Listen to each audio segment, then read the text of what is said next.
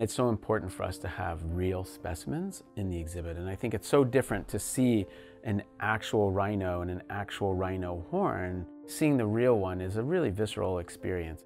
Every specimen in our collections is an individual, and just like humans, every individual is different, it has its own history, and it's our job to look after those collections because they're the most complete, intangible, and permanent record of life on Earth. Rhino horns are created of keratin, which is the same part of human skin that creates our fingernails and our hair. Keratin is a protein that is produced by skin cells, whereas other horns on mammals tend to be bone. And when we were looking through available specimens to help tell that story, we made the choice to showcase the rhino to talk about how you can save these animals. We already have it in our collections, and we feel like it's important to acknowledge our past and then also use it now as a teaching moment.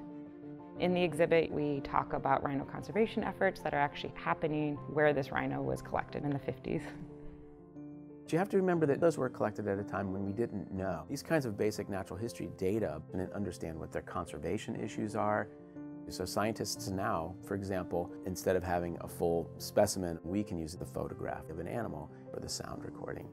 Having a rhino mount is very special and unique. It's a privilege that the Academy has one in such good condition that we can show. And we want to make sure, because of its rarity, that we protect it as a highly valuable historic piece, really. So we reached out to a conservator. The conservator is in charge of preserving our cultural heritage.